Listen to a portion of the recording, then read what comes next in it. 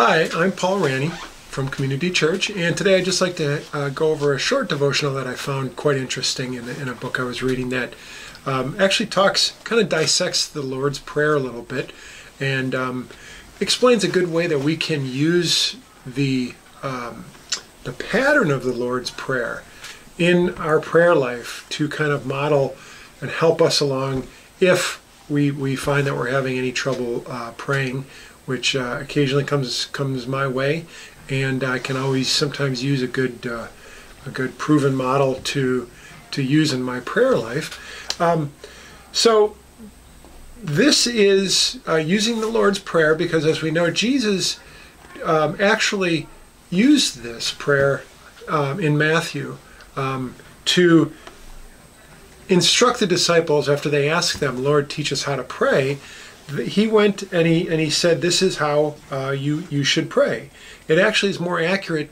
It would be more accurate to call it the disciples' prayer, because of course Jesus wasn't praying this prayer because of course Jesus never sinned, uh, so he had no reason to ask for forgiveness as we do in the Lord's prayer.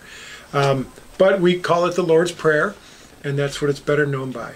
Um, to better understand this prayer, we can break it down into two sets of petitions. So there's going to be three petitions in each set and two sets that make up the Lord's Prayer for a total of six different petitions that are contained in the prayer.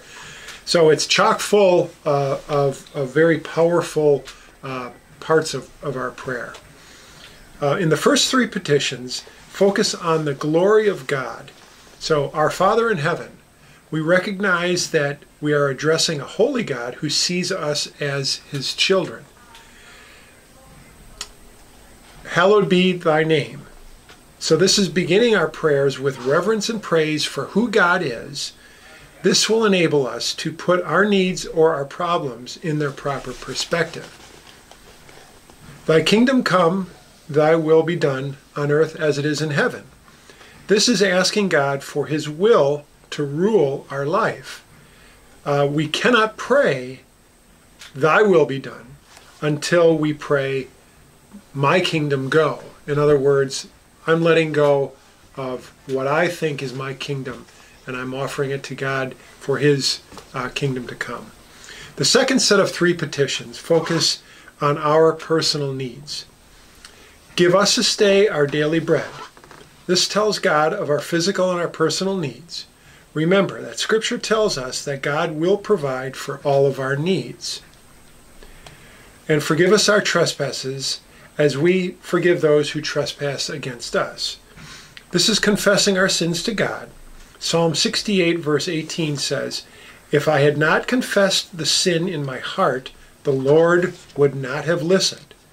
So if we are clinging to some sin, our prayer life will suffer. And lead us not into temptation, but deliver us from evil.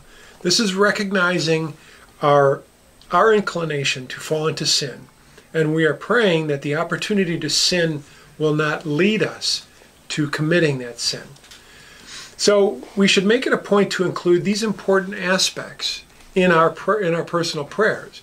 We can use each one of these uh, types of petitions in our prayer life to kind of give us a well rounded um, uh, prayer to God in which we're including all of the important things that um, Jesus has told us is a good thing to include while talking and uh, listening to God.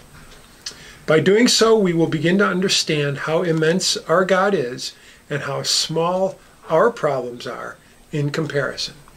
Let us pray. Dear Lord, we thank you for uh, giving us instructions, giving your disciples instructions, and and, and giving us instructions on how best to pray. Sometimes praying can be difficult, God. I think we all suffer sometimes from prayer block.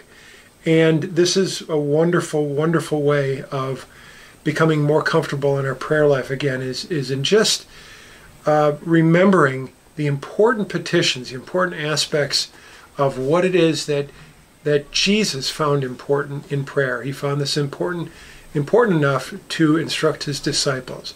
We ask for strength and wisdom and guidance in our prayer life in the future. In Jesus' name we pray. Amen. Thank you.